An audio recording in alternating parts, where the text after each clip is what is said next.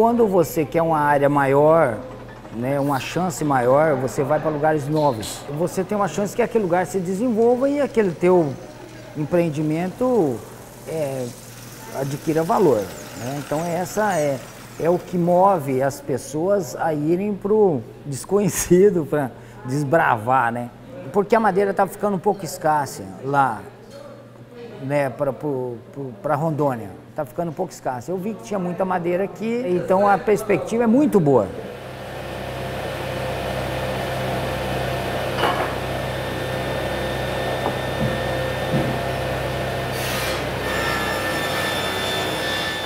É que lá já o pessoal já derrubou tudo, já lá já está bem desenvolvido, né? Pastagem e tal, se aproveitou pouco e acabou, né? Como eu acredito que aqui também vai acabar um dia. E... O que, que o senhor acredita que vai acabar aqui?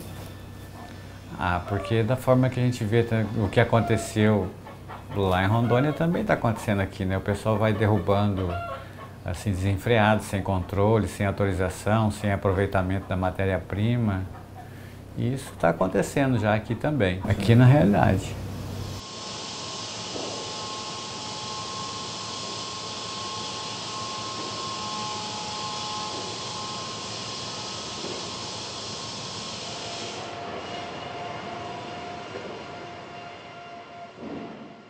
Quantos anos o senhor está na região? 14 anos já. Então, desde 2004 a gente veio para cá e aí de 2005 eu já vim de mudança. A terra que a gente tinha era pequena, aí a família cresceu e a gente dependeu de mais terra.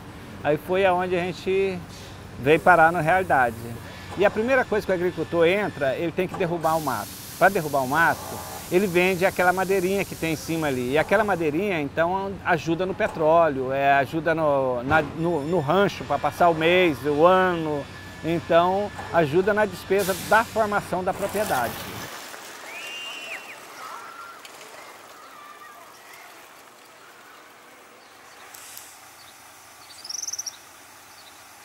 Em 2012 nós tínhamos 200 e poucos alunos, não chegava a 250. Hoje, atualmente, nós estamos, nós estamos com quase 500. A gente calcula de 5 a 6 mil habitantes, porque em todas as linhas, todas as vicinais, tem bastante gente. De todos os, os estados tem, tem gente aqui, mas o mais é Rondônia. Eles vêm com investimento, eles vêm com capital, compram terra e já se mudam para cá. Manejo, madeira, é, muitos estão investindo em, em pecuária, plantio, muito plantio tem aqui.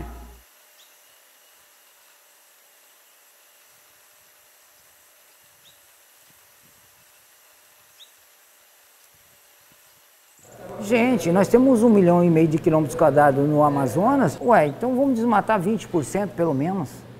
O Brasil virou uma potência agrícola que, que é 20%? Não é nada. Inevitavelmente as pessoas iam ter que vir os madeireiros. Quando o madeireiro vem, não tem jeito, ele vem, se o governo não arrumar estrada, ele arruma, ele dá um jeito. É uma economia, né? Embora o Ibama taxe como bandido, porque a gente tenta trabalhar o mais certo possível, mas só que eles exageram.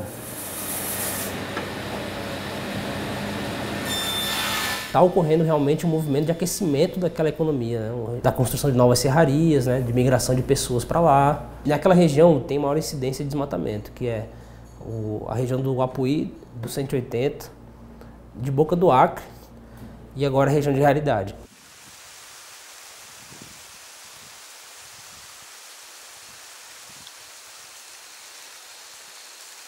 As etapas de desmatamento na Amazônia elas não são muito diferenciadas. Vem a primeira frente, que é a frente de desmatamento. Essa frente já joga o pasto, planta o pasto, tira a árvore, planta o pasto. E a terceira frente, que é a frente de subida do gado. Isso na BR-319 começou a acontecer no final de 2016. O pessoal costuma falar muito, fazer muitas comparações com a Europa, com os Estados Unidos, e lá também devastaram tudo, até por isso que é desenvolvido, né? Eu acho que o Brasil, o povo do Amazonas também merece desenvolvimento. Logicamente que se paga um preço por isso, né?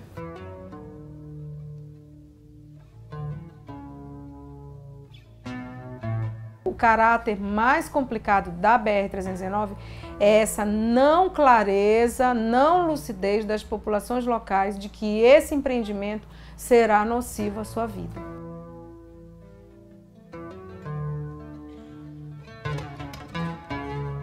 Com esse trabalho de melhoramento da pista já melhorou muito, então já não está atrapalhando muito a gente trabalhar. E a gente, o sonho é da BR concluída. Né? Se sair, isso, se Deus quiser, vai sair, aí melhora 110%, porque as pessoas que já estão permanecem e a tendência é só chegar mais e mais.